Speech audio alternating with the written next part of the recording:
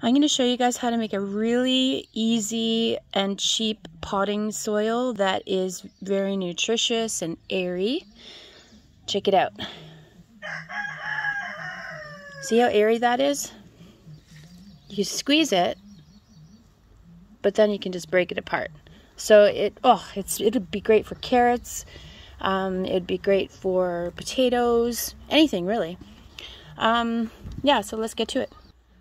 So all I use is two ingredients. I use peat moss and I use sheep manure.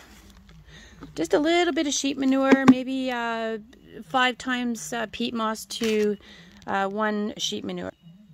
I then spray it with water.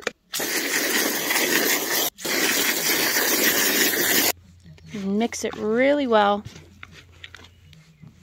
And voila, you can make it as airy as you want or as dense as you want.